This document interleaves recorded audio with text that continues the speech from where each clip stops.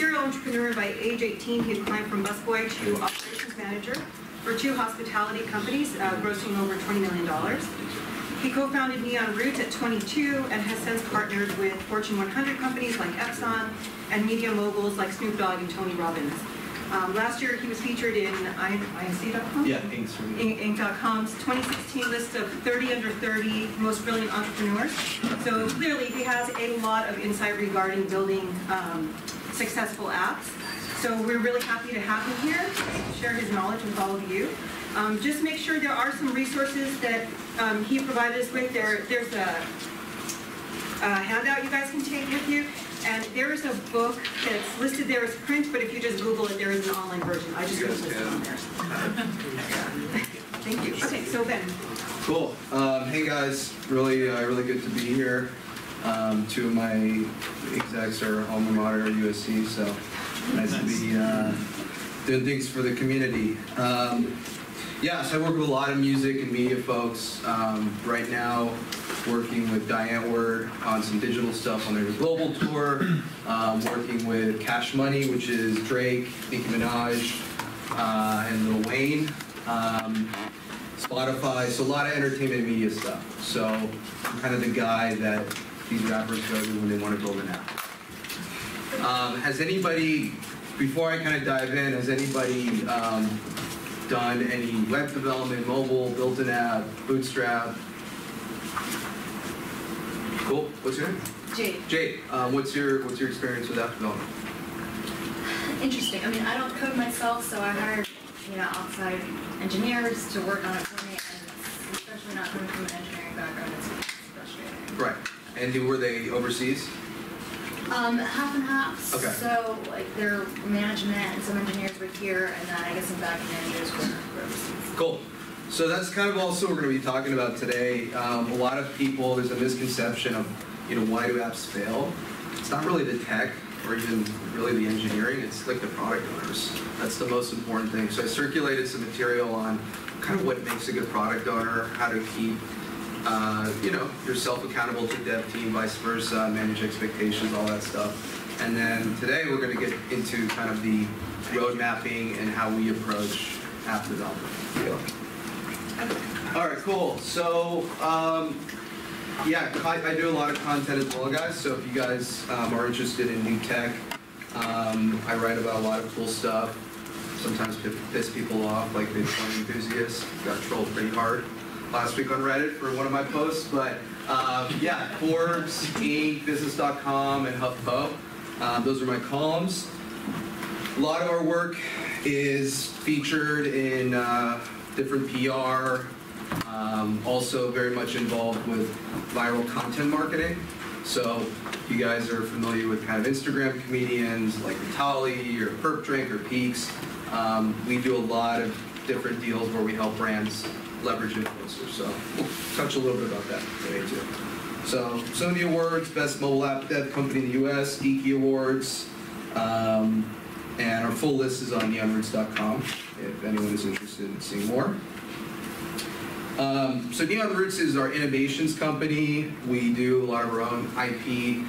We also kind of have more marquee level services that we do through that company. Rootstrap is our road mapping company, and that's kind of a fancy word for, you know, building an app blueprint. Um, writing the requirements, writing the user stories, doing the wireframes. Um, building an app is much like building a house. So you're going to, uh, you know, meet with your general contractor first, spec it out, decide how many bedrooms you have, where's the pool going to be. You're going to want to make all these decisions before getting into code. Um, a lot of people, the, the, the model is kind of designed to push you into development.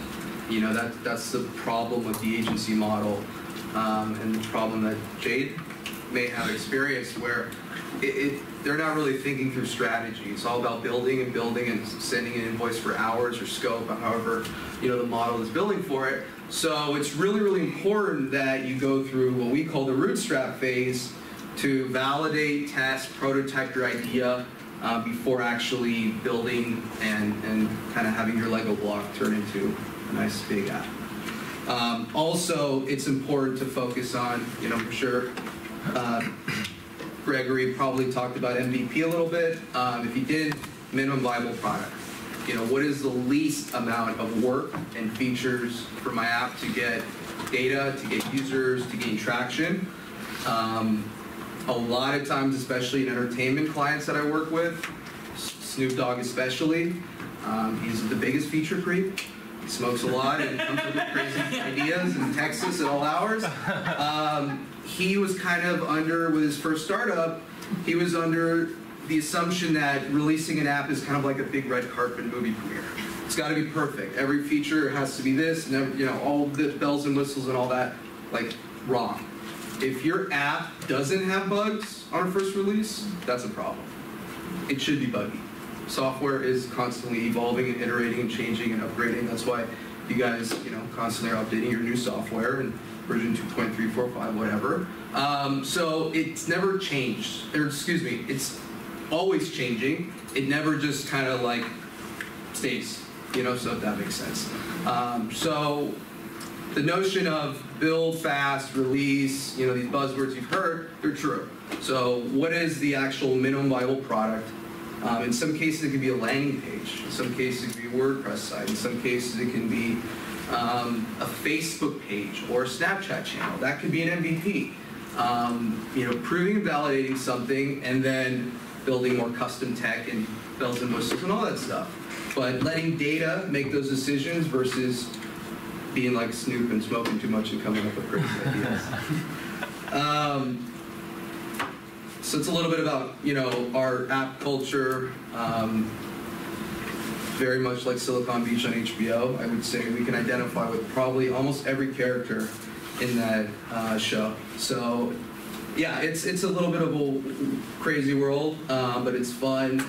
It's really really cool to see ideas come to life, especially non-technical people. So we love working with startups that really have no back, background, agile development experience, whatever you want to call it, because we're kind of starting from a clean slate. They don't have um, past traumatic experiences with different vendors or getting burned by an overseas team. So we actually like working with uh, product owners and startups that don't have much experience, and we can guide them and provide a white glove service throughout the process. So why do we do Rootstrap? Um, again, this is the first stage of an app development for us. Um, it's typically a three to four week process. A lot of people, again, entertainment clients, Tony Robbins, for example, um, he had tried building, if you guys don't know him, he's a big author, uh, self-help coach, you know, medium mogul empire. Um, he tried building that for five years before he met us. He worked, tried to transition through multiple vendors. He's a really, really tall guy. He's really intimidating. He's got like 20 people around him all the time. A lot of security, and you know he's kind of the type of person that when he asks for a cupcake, you know someone from his team comes back and brings him the whole bakery. So he's not really used to hearing no a lot, especially when it comes to his first ever digital property. And we were tasked with digitizing 39 years of his content library. So when we met him, his CIO dropped a huge box. He's like, all right, here's your research, and it's just a bunch of CDs and DVDs. Like, we were like, what the hell are we gonna do with these? We literally had to find someone on Craigslist, transcribe it all, um, and you know, that was the first problem, and that's what we told him. So the very first kickoff meeting, there were probably 13, 14 people from his executive team in this conference room, similar like this one, and we identified who shouldn't be there, you know, and that was something new to them because they all felt like they had a voice and, well, I think the app should do this, and I think it should function this way, and, and we said, well, we don't really care. We need one product owner, so we can leave the room and you guys can decide. No, no, no, no, no, we're ready. They start kind of freaking out and okay, okay, you know, Kate knows all the content. She'd make a good product owner, but she doesn't know tech. I said, don't worry, we'll we'll, we'll ramp her up. Um, in 13 weeks, we launched this app and got him an ROI. Basically, paid back all the fees he paid to us in 13 weeks. So that was a cool case study. Yeah. Does that include the bootstrap process, the whole building? I was Yeah, so that, good. So that does not. So it was a dev cycle that was about 13 weeks plus Rootstrap, which was about three and a half. But um, we get pushback because with someone like Tony Robbins, I want to start building an app now. I want to code now. And we're like, no, that's not how this works. You need a plan, you need a prototype, make decisions internally or have your product owner do it, and then build. So a lot of times people want to skip that process, and it's our job to, you know, manage expectations, how we work, and push back. So, kind of some of the basics of how do we do Bootstrap. Um, you know, understanding the problem that we're trying to solve. Um, defining things, building basic requirements of as a user, I should be able to do this task. As an admin, I should be able to do something else. Um, you know, really the best way to communicate an app is not through, you know, this bloated pitch deck. It's just through storytelling. So if you feel most comfortable doing that in a video or in just plain text, um, you know, tell a story of what your app should do and what you want it to do versus trying to, you know, create this feature document that has 20 pages and all these specs because the chances are your engineer is not going to understand it. So keep it simple at first. Um, ideate and understanding that software is an iterative process. So it's constantly changing and evolving. Um, especially with first-time product owners and entrepreneurs, it's very common that they're building an app to solve their own problem. You know, that's why Zuckerberg or Evan Spiegel, whatever, they came up with ideas of the Tinder guys, which are USC, Sean and Justin. Um, they came up with things that they want to solve for themselves. At times, there is a departure where, you know, building the right product and the data might not be from the original vision of the creator anymore. And it's kind of, they have to go through this challenge of building a product that they may not even use anymore, but the data says it's the right product. You know, this happens a lot.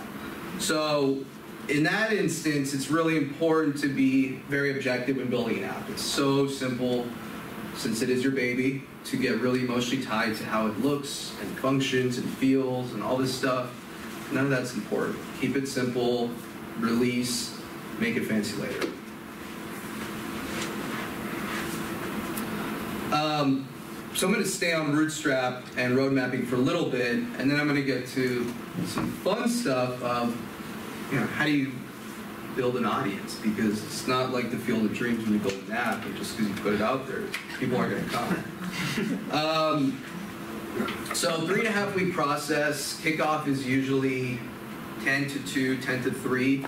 Um, we do about five or six per month between LA and New York.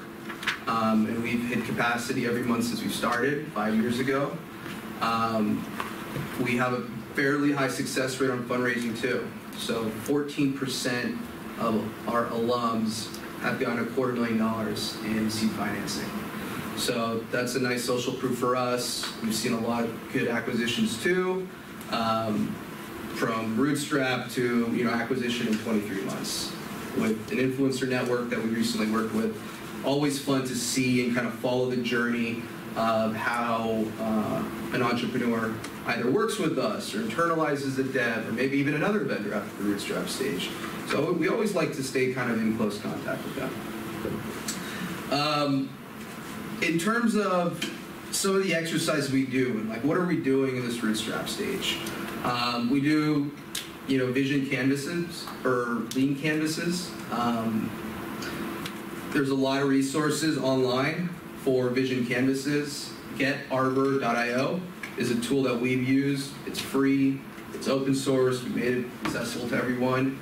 Um, number one on Product Hunt as well, so we're pretty proud of that. Um, that helps you write your user stories. Again, that's very simple, plain English description of what is the intent. What is what is your feature trying to do? As a user, I should be able to log into Facebook so that I can use this app. Um, as a user, I should be able to go into my account so I can check my balance.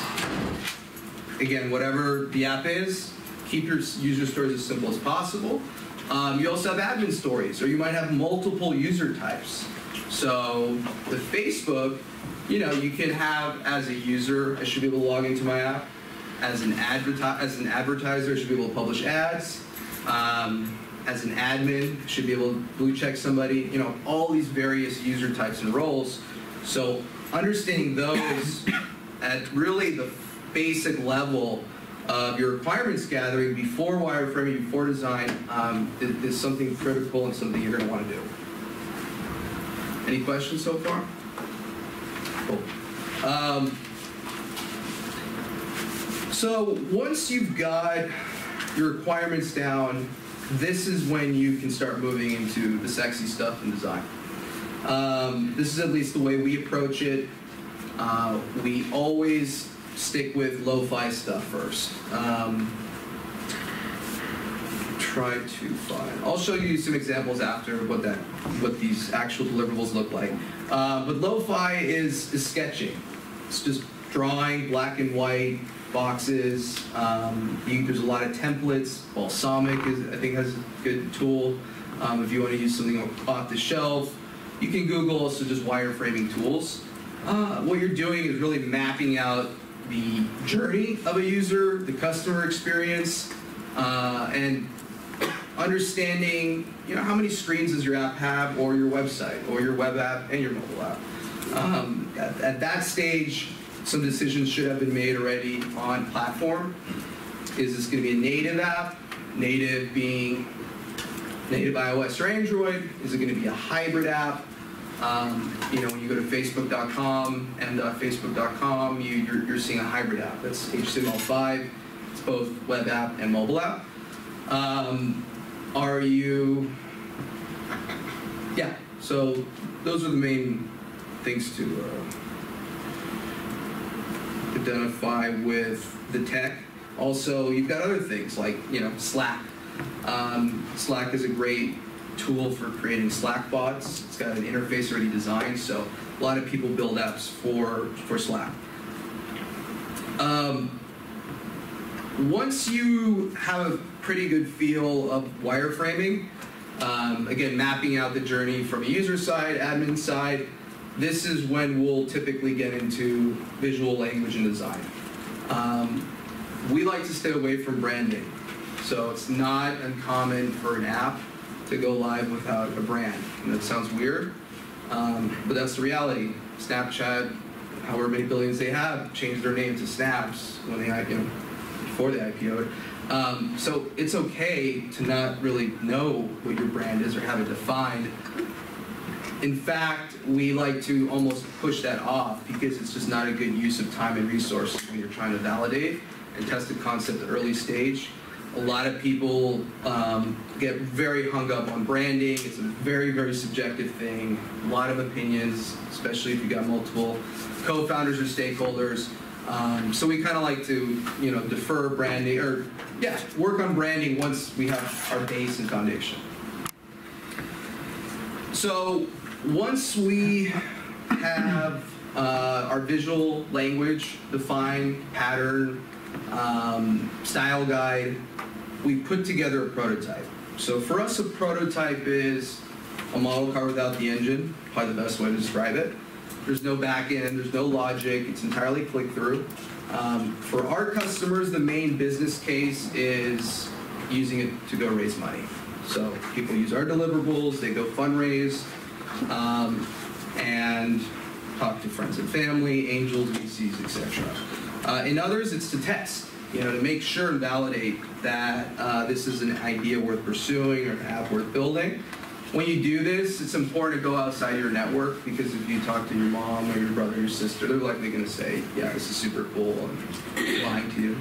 Um, so, you know, go to Starbucks, offer to pay someone five bucks, you know, try to get um, as many unbiased opinions and feedback as possible. Especially at this early stage, because right now you've only wasted three and a half weeks. So real quick, Yeah. back up. How? What if we wanted to do Bootstrap? How do? What does it cost? How do we pay for it? Do you Sure. guys take equity, etc.? Um, so model right now is 12,000 for startups. And we get about 60 applications per month. 50% of that is credited to development. So that's really the biggest incentive for entrepreneurs is that um, they're only paying six thousand for Rootstrap. And if you want to use Rootstrap to then find a CTO, you can do that. If you want to uh, use Rootstrap and then develop with our team, great. If you want to use Rootstrap, take a break and fundraise, awesome. Um, the idea is keeping it as flexible as possible for the client, for the product owner, um, not getting locked into long-term engagements or commitments. You never want to do that in development because once you work with a toxic vendor, it's very difficult to transition and find someone who can just pick up and resume. Um, it's a lot easier said than done, and that's why you have to sometimes rebuild from scratch a lot when we do rescue mission type stuff. Um, so if you are interested, rootstrap.com. Um, our road mapping process, we'll talk a little bit more about the details. Equity is something that we do once we've dated for a little. It's you never really want to give equity to uh, a vendor you're paying fees to, and there's a lot of companies out there that do that, and I just think it's bullshit and uh, unethical because they're taking your money, charging you, you know, rack rate for their service fees and taking equity. So it just doesn't feel fair um, for the entrepreneur. So our thing is we usually like to do it after we work with a client or, or customer for you know at least a couple months. What types of guarantees do you give your customers as far as just getting them through the three and a half week process or I don't do you see where I'm going with this? Do you say, hey, we're gonna get you to here? Yeah, I mean we we tap focus groups. We bring in we do as much as we can to validate. Um, there's plenty of times I say no, don't build this. Mm-hmm. or somebody pays me 12 grand and I gave them a beautiful app and all this really cool designs and I'm like, you don't need this, go start a Snapchat channel. And then outgrow that, and then you can build custom tech. And at first, the customer was like, I can't reveal his name, but he was kind of screaming at me, Ben, what the hell? We just paid all this money, oh my God. Calls me a week later, thanks for saving, you know, we started our Snapchat channel, audience is growing like crazy, you know, thanks for saving us quarter million dollars in eight months. So nobody's got a crystal ball. we don't know if it's going to be successful. But what we do is we de-risk the idea as much as possible. That's kind of the best way we like to uh, pitch what Bootstrap is. Okay. Um, so I was I wanted to move into growth, user acquisition. Is that okay? Yeah. Okay. Before I go there, any other questions in the road mapping? Because I know that um, a good chunk of this time is going to be focused on uh, the planning and road mapping. I like growth because it's more fun. I think you guys would like it too. Uh, but let's let's make sure any other questions before we move on. I guess you have like understand and define as your first two terms. How defined does the idea have to be before someone comes to you, you think, typically? I mean, oftentimes it's comparing something, you know, Uber for dogs, or Snapchat for this, or Netflix for that, or Airbnb for this. Um, we get a lot of that. So I'd say 80% of our applications for Bootstrap every month are, are you know, first time founders who I have an idea for an app. Um, I was drunk at the bar. It would be great if, you know, Venmo for this, Bitcoin for that. Um, so that's usually where they're starting. Um, we do send an application process. Where we're vetting people and applications, surprisingly, is not the idea. It's the product owners. We don't want to meet work with crappy people who you know want an order taker service and aren't going to listen because the chances of your app pivoting are almost like 100%. In other words, the idea at the time of Bootstrap and then development or the end of Bootstrap has evolved significantly every single time. Sometimes the business model has changed entirely. So we put a lot less weight on the actual idea itself and more on who is behind this. You know, are they capable of raising money? Are they capable of executing? That answer your question? Yeah. Cool. Um, so growth hacking. I just did a talk last night on growth hacking. A lot of uh, Snapchat's building. They own kind of all of Venice now, so um, I think it was one of theirs. And yeah, I, I got to do a lot of fun stuff on this on this topic. Um, does anybody, has has anyone heard of kind of the term growth hacking before? Maybe? No? Okay. Um, growth hacking is just a way to build audiences, convert app installs, um, drive people to a landing page, get people to opt into something. It can be used for any uh, you know KPI, key performance indicator that you're trying to track uh, with your project, whether it's revenues or downloads or impressions or content or you know whatever. So one of our most recent successes um, was helping a product called SuperScreen uh, go on Kickstarter. We met this entrepreneur, uh, very successful engineer, mechanical engineer, who um, you know came to us with him, his MVP. This was a hardware product.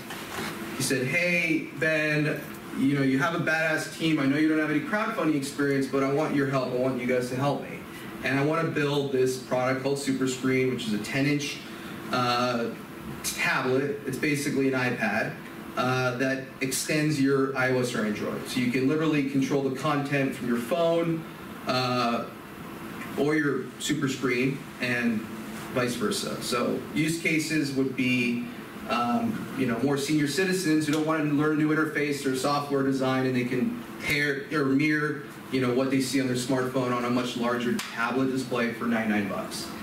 Um, same with you know maybe mom and kid, where when you give your nephew or nieces or kids your phone and they play and screw around with all the settings, now you can just give them a 10-inch tablet and be able to kind of control the content they're watching and viewing. So really cool product, but as millennials, we weren't able to identify with it at all. We were like, this is silly, this is stupid. Just go buy a tablet. You know, why would we do this? And it started to finally stick to us, or rather, we, we got a little bit more excited when we started doing some really basic things. So, how did we hit the? We're number 11 most funded campaign of all time. Bear in mind, we've never done Kickstarter before, ever. So this is our first crowdfunding experience. Uh, we hit our pledge goal of 50,000 in the first hour. We got 19,000 pledges and we raised 2.53 million. So how did we do this? Um, for starters, before the campaign, we had our pre-campaign launch, and we set up landing pages. What's a landing page? It's a product description page. It's your marketing page. Um, it's basically describing to your audience and your demo what this product is. And what are you trying to capture from a landing page? It's different for every business. In our case, we just wanted an email opt-in. We wanted a really good email so that when we launched uh, for our first hour, we would hit everyone on our pre-subscriber list with you know, an announcement that we're live on Kickstarter and we hope to convert them. So starting with a series of landing pages, there's a lot of good tools out there. Instapages.com, uh, I think Unbounce is another. You do not have to be a designer. If you want to get fancy, you can hire someone on Upwork um, who's maybe specialized in landing pages. Doesn't have to be overly complex. Um, Don't internet. So if anybody wants to go on their laptops, superscreen.io, that's an example of a landing page. Um, so with that project, we wanted to build a pre-campaign list. We wanted to build an audience on Facebook, engage in that audience, and then have this become uh, the, you know, one of the most successful campaigns of all time. So we started with a Facebook group. We quickly quickly realized um, who our audience was, 65 plus. Sally from Wisconsin loves the fact that this is $99. She's going to buy four of them. And eventually creating evangelists where we literally don't even have to sell the product anymore because we're engaging so much in the community that on Facebook, people literally in the comments are helping us sell the product, answering questions, um, creating kind of an early adopter network. That was always the goal. This entrepreneur he didn't really need the money to go to manufacturing. He had plenty of runway. Um, for him, it's more bragging rights and saying, I'm the biggest, you know, Kickstarter, blah, blah, blah, all time. So, you know, that's really the ideal scenario is activating uh, an audience on Facebook, getting them to start to evangelize the product for you. The next most important thing we did was video content. Um, you do not have to be a producer, go to film school, or be super rich or whatever to do video content.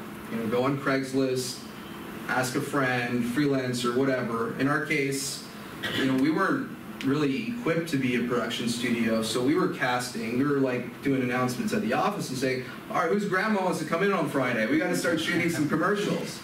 And sure enough, it was though it was that content. Our designer and his grandma.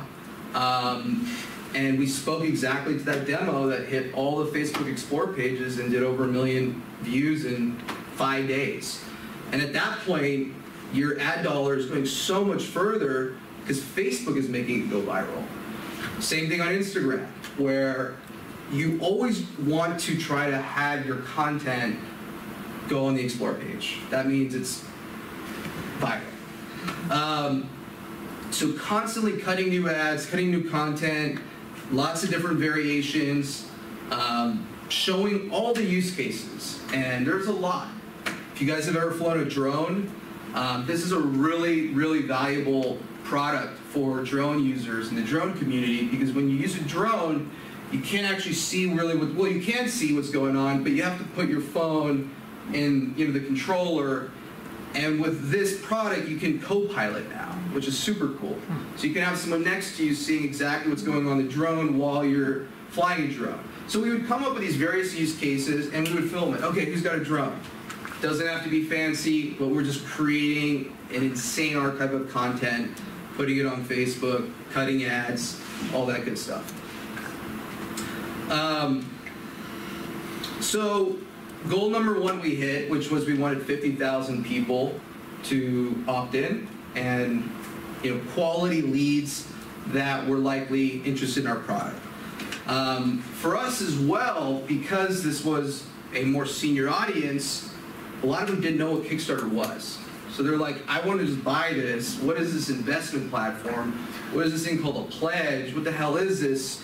So our Facebook community did help with some of those questions, but what we did is we just created simple screencasts. We would put video tutorials, we'd send emails explaining what Kickstarter is, educating them. Naturally, Kickstarter loved us, so their head of whatever, head of tech would call us like, thank you so much for, you know, because they're getting, you know, 5% off this project, and we're, you know, bringing in 50% new traffic who'd never heard of this platform before. Um, so the more explanation, the more content, the better. I know sometimes less is more, and I'm, I'm usually, I usually stick with that in, in, in business and a lot of things. But when you're talking to your audience, assume your customer's not so smart. Assume they don't read. So overload them with extra resources, information, ways they can find out about things, FAQs, videos, tutorials. Uh, the more the better. Um, so we hit our 50,000 pre-subscriber, combination of Facebook ads, Google search ads, Gmail ads, influencer marketing. Um, a lot of people say influencer marketing is snake oil. It can be. Um, it's all about pairing the right, you know, influencer with a brand. It's a reality. It can work, um, but if you're a really archaic brand, you're not hip with the latest trends, um, you know, the campaign will likely fail. On the flip side, if you only rely on influencer marketing and vapor, you're going to get burned to the ground like Fyre Festival this past week. Um, you know, they're just, I mean, it's getting crazy, but, you know, they knew this was going to happen, and all these influencers were allegedly breaking a lot of FTC violations and all this other stuff that um, I think is, is waking up the industry a little bit on how to be a little bit more cautious of curating brands and influencer deals. So it can work. Um, it can be effective. You just need to know how to pair it, uh, make sure they post at a certain time. Apply the same stuff, you know, bootstrap it. You know, plan and do strategy before uh, doing any type of viral marketing campaigns or anything like that. The next big thing is engaging with the community. Um, this is especially important because in Kickstarter land, there's a lot of people who drink way too much coffee and just it's it's a weird like they get to pretend like they're on Shark Tank for a dollar. Seriously. Most of them, a lot of them aren't even full pledgers. So they pledge one dollar and they all kind of like know each other. So when we did Kickstarter Live, we brought TechnoBuffalo, who's a big tech influencer, review our product. We saw these guys like, hey Jimbo, good to see you here. Like they all kind of know each other. It's this, this like quiet underground. It's kind of like a betting gambling community. They're very addicted to it, um, but they're they're wound up, and you need to be prepared for that. And that that was something we were not. Um, we thought, okay, we, we did all of the work. We got our 50,000 people ready to go. We're going to launch. We hit our pledge, we're done. No. Um, I almost got a stomach ulcer in 30 days. It was so crazy. No, it's it's intense, and you need to be very communicative with your uh, community, um, and you know understand that there's going to be trolls and doxers and haters and people talking shit and all that. It's it's par for the course. You know, um, a lot of projects, big ones, Pebble, they did 12 million, which was a smartwatch you know, they went bankrupt. So it's, it's a very, you know, heated community. Um, so approach crowdfunding with caution, be prepared, um, have a marketing budget. It's not for everybody. If you can, I would I would prefer uh, a family and friends round for fundraising any day over crowdfunding. It, you know, we did a lot. We did great, um, but it was a tremendous amount of work, very, very exhausting, physically, emotionally, and uh, yeah, I, I, might be taking a little break from crowdfunding for a little while. um, the next thing is, uh, you know, again, updating, so continuing communication through channels like um, Kickstarter, email lists, private Facebook groups. In our case, again, we, we continue to answer questions and people don't read. So we use chatbot technology. We, we created a chatbot um, that is natural language that allows customers to ask questions and this chatbot would engage with it and answer questions. So that's a way where you can um, not have to have so much manpower in customer service for these 19,000 people who all want their product now. Um, so that's, you know, chatbot tech is something that should be on everybody's radar. You know, AI is a much larger topic we won't get into today, but I think chatbot stuff is, is very interesting. There's a lot of use cases that can be applied to what you guys are doing and your, your future startups. Um, so yeah, PR was key. Um, we got on almost every major publication you can think of, went viral on Reddit multiple times in different subreddits. Um, with PR, make, when you guys have opportunities for PR for yourself, your own brand, your own companies, make sure you have, the, the simplest rule is make the other person do as little work as possible. They don't want to write. They don't want to do anything. They can't sit, tell you to write the thing for them because that would be, you know, breaching their contract that they signed. But that's what they want. So the tighter of a draft you can provide to a writer, the better. Um, make it so simple for them to literally copy, paste, change a few things, and that's what they're going to do. That's growth hacking. Simple as that. Um, you know, reaching out to certain publications that would find the story fascinating. Uh, also, it's not common to kind of like do a scratch your back type scenario with PR, where someone will say, "Hey Ben, I can get super screen on this. Can you cover you know a project for me on Inc?" Um, and that's totally fine. It's totally ethical. That, that, that's what PR is. Um, just have to be transparent. If you guys do decide to ever write or have a column, you know, just kind of tell your editors. Uh, that's a really, really important part is getting, you know, PR, getting those logos featured in the social proof. Um, that creates, you know, com- customer confidence. They've seen it on a major publication. Um, this is a credible product, and I think I'm gonna buy it or pledge.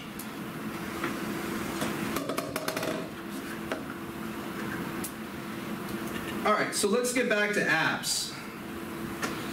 So this was a company we acquired last year. Um, 99 Cent Brains uh, is run by a brilliant artist, uh, creator, developer by the name of Frankie Aguilar. Um, he, him and I crossed paths when he originally came up with a vision and developed Snoopify, um, which we also own, which was kind of pre-stickers on iOS 10. Uh, the most successful, I think TechCrunch called it the most successful photobombing app of all time.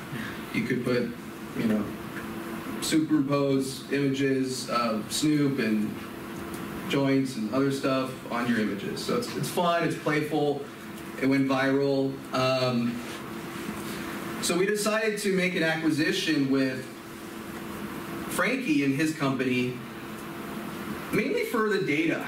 Um, a lot of these apps, you know, are, are, are I would classify them as entertainment.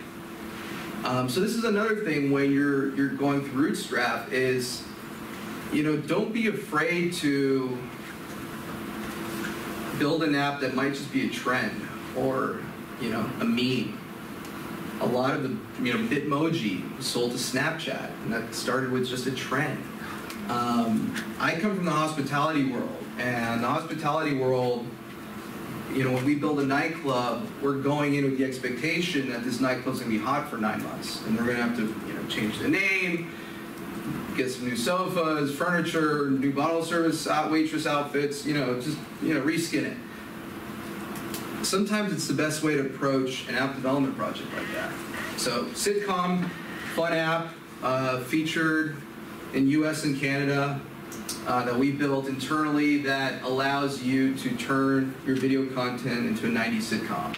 So laugh tracks, Fresh Prince of Bel Air. Um, also, it's really cool to see you know who the audience really is and who's buying content here. It's not little kids, it's not millennials spending money. It's it was about females 35 plus. So it's always surprising to get you know insights of who is actually your audience because everybody wants to build apps for millennials. Millennials don't spend money. Millennials don't have loyalty. Um, so as far as I'm concerned, I don't really want to build anything for them. I want to build it for Sally in Wisconsin, who's got two kids, and she's spending, you know, like hundreds of dollars on Pokemon Go still. um, so, you know, with 99 Cent Brains, a lot of these apps in the portfolio were great. They were huge hits for several months. Um, you know, you can see here, I think in one year in red, they did 1 million in uh, digital goods that were sold, stickers, uh, other, you know, digital content upsells. Lots of good, juicy data. Um, but, you know, there was a decline in, in engagement. So we wanted to come in and reactivate some of these apps um, use some of the data, analyze some of the data. Uh, so there's always different plays and strategies with you know acquiring a company, merging, um, starting a new one. Again, we knew going in that a lot of this portfolio had a lot of sexy stuff, but it was already kind of fading, and the trends for them were gone. Um, cat you guys may be familiar with. It's just you know cool cats, but that's where Tyler, the creator, got his character from. So we've also, for us, it's kind of the highest form of flattery, but a lot of our artwork was inspired, stolen, um, you know, by other big influencers and, and creators. Um, so don't be afraid to know or have all the, you know, have all the answers right now. At the bootstrap stage in your development, how am I going to make money? What's the business model here? You can build a trendy app and you can build a lot of really great data. Um, that's totally reasonable uh, approach to product development. You know, I, I'd say the best, next best thing you could say is, I don't know. You know, don't be afraid to say that. It's probably the smartest thing you can do. Um, especially with VCs or people who are in the tech industry and they're going to ask you a lot of questions poke holes at your app in every way they can. If you don't have the answer, eh, don't look stupid making a lot of fake stuff up or whatever or fluff. Say, I don't know. I'll get back to you. We're still working on it. Um, most of these companies, they don't know what their business model is until they put it out. So, again, that's sometimes the smartest thing you can say. So you're saying in that case, the, the play is just to get data and sell it to bigger tech companies? I'm saying that it's okay to not necessarily know what your revenue streams are. I think it's a big, a lot of, it's a big blocker for a lot of startups to move into the marketplace, is they don't have a business model. I don't know, you know, I don't see somebody paying five dollars a month subscription. I see somebody using this for free, um, but maybe ads is not going to be the best way. You know, how, how is this company going to make money? Data is another big way to make money. So understanding that it's it's not a one size fits all type scenario. Um, there's a lot of different ways you can have revenue streams through a digital product or app. But if you don't know your revenue streams even remotely going into it, what's the point in putting money into developing the product if you're not going to get anything on the back end? Sure. Again, ideal scenario is you've got a fully fleshed out product roadmap. You know exactly how you're going to make money. Um, it's very, very, very cut and dry and clear. The reality is most startups don't have that. Um, so it's it's good to have some kind of alternatives in terms of you know how can this produce on the back end through ads through data if it's not um, if it is going to be a free app.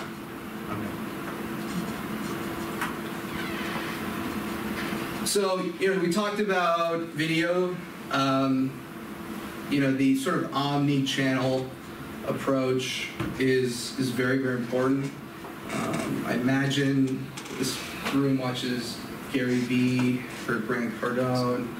I, I get a little nauseous sometimes. These guys kind of, they're, they're, you know, they're, they put out good stuff sometimes, but it gets a little overwhelming. Um, I met a lot of them, and it's it's all kind of a show, and they do a really great performance. You know, they're really really good promoters, um, and it's been a challenge for a lot of these older guys, especially Tony, who's you know his big hands can barely use an iPhone. Like he literally has to have two executive assistants do his Instagramming, and you know he he didn't even text me. He uses voice memos because his hands are so big. So in that case, it was really hard for him to embrace and understand the value of social media. He's now, you know, probably 1.8 million followers on his Instagram. Um, I think double that on Facebook. You don't know what's going to happen in the future. Nobody can predict what's going to happen to Snapchat. Nobody can predict what's going to happen to Reddit or Twitter. So, you know, the short answer is try to be consistent as possible on every platform um, especially starting out. You don't know which one's going to convert the best for you. Um, so try to have kind of a cohesive strategy across as many platforms as possible. Also, um, where we've had a lot of success when it comes to influencers is not Kendall Jenner um, or, you know, Kardashian influencer, it's micro influencers. People who have, you know, 20,000, 30,000 followers on Twitter, um, but we can get 500 retweets. You know, we can get insane engagement from these people, and we have a network that is collectively, you know, 10 million comprised of multiple micro influencers. Uh, that's a really, really, really effective uh, strategy for us when driving app installs is identifying different influencer networks. Um, creating the content is critical.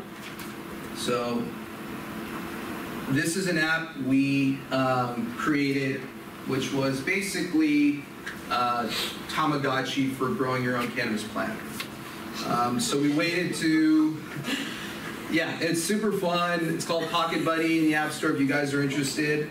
Um, we waited for Apple to kind of allow cannabis uh, apps in the gates. So right when they did that, uh, we jumped in and we were one of the first ones since I think Wiz Khalifa just came out with a similar game of kind of growing and, and nurturing and taking care of your plant.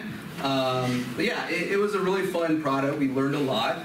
Um, and we were heavily reliant on influencers and excuse me, micro influencers. So the key thing is is content. That's how you know you stay relevant. Pocket Buddy listens to 21 Savage once. Um, notice we don't even have any lates. So how does somebody find us? They're seeing this content and then they're organically going into the App Store. They're searching. And just like hitting the Explore page with your video content, the goal with an app is uh, you want to try to get search and trending as quickly as possible. Um, so, you know, we did, we got number 23. Could have got a little bit more stars, but that's also another thing is don't be afraid to put a product out because you need feedback, good and bad, and that's how you iterate. Um, so, you know, we did different variations of this kind of content. You know, a picture of Kanye West at a Laker game at a plant. People like that stuff. People engage in that stuff. Um, so that was a really, really critical strategy and technique for us to hit feature pages, get PR, eyeballs, and revenue um, because we're selling digital stuff inside.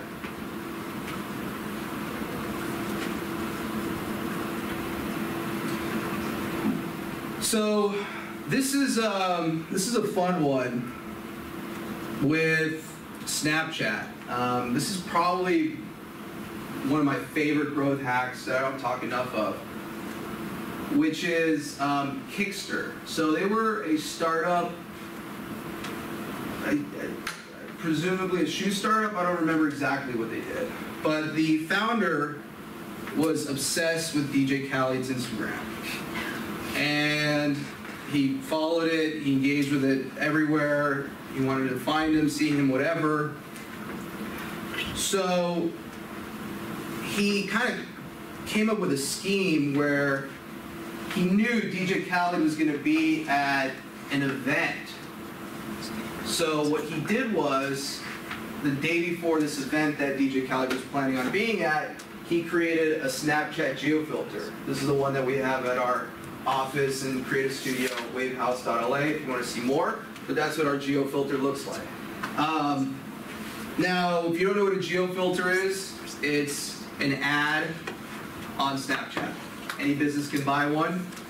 In this case, he created an ad for Kickster with a little DJ Khaled emoji and all that stuff.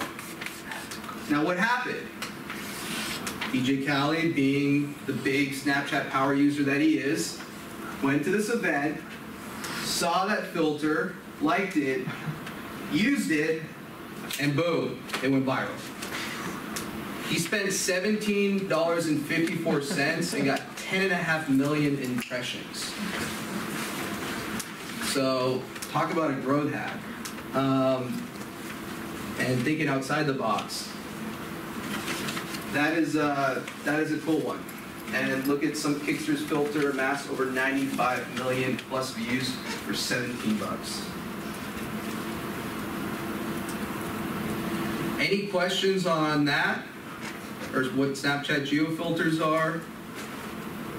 They're location based. So again, you're buying a radius. You can buy uh, pretty much as much as you want. And you know, obviously, the larger the radius, the more expensive the ad. In this case, he bought it for a specific zone, and it was 17 bucks.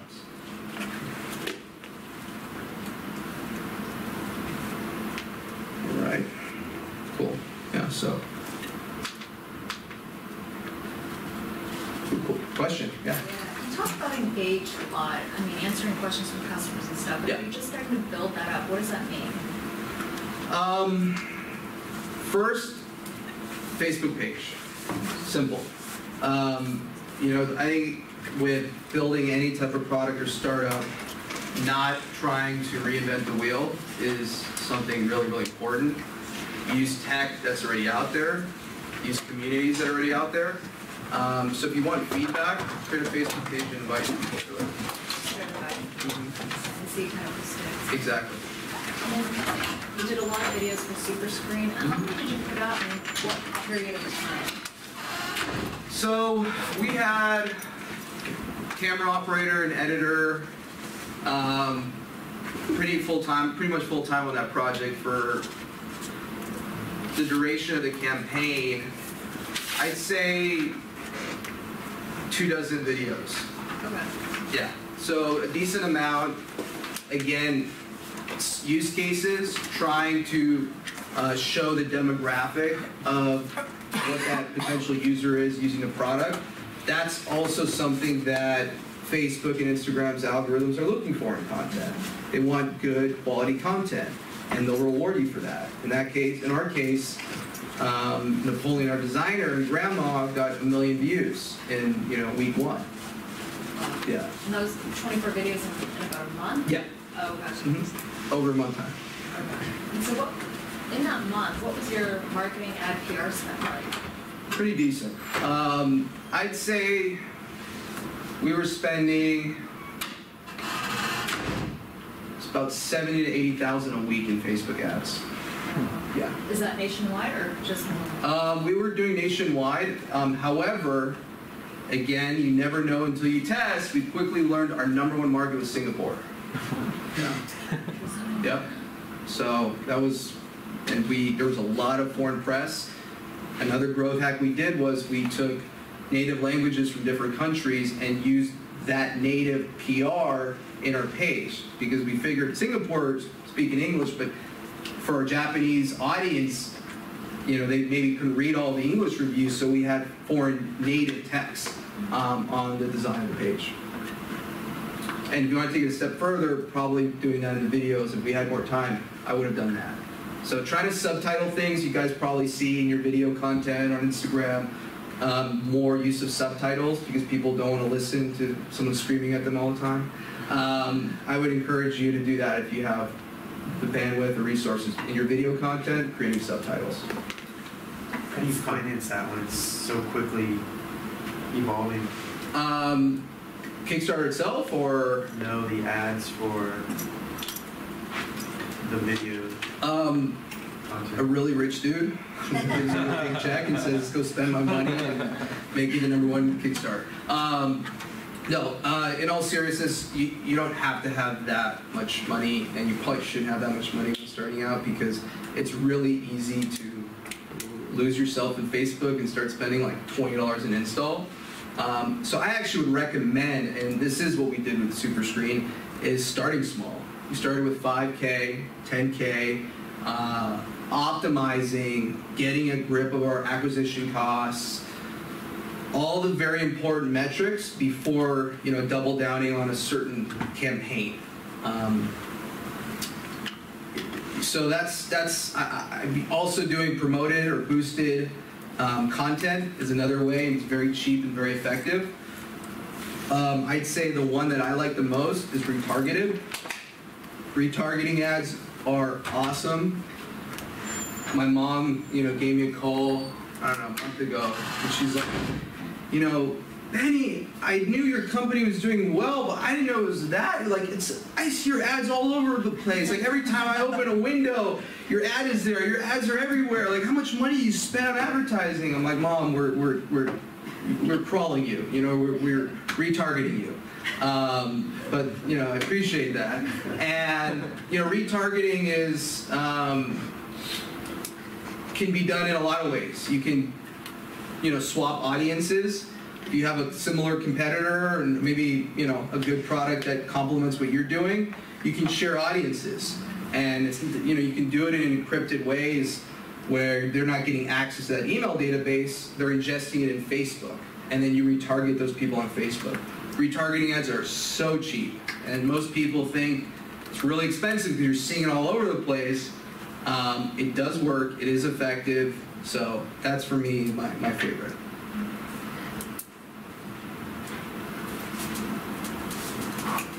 Have any other questions?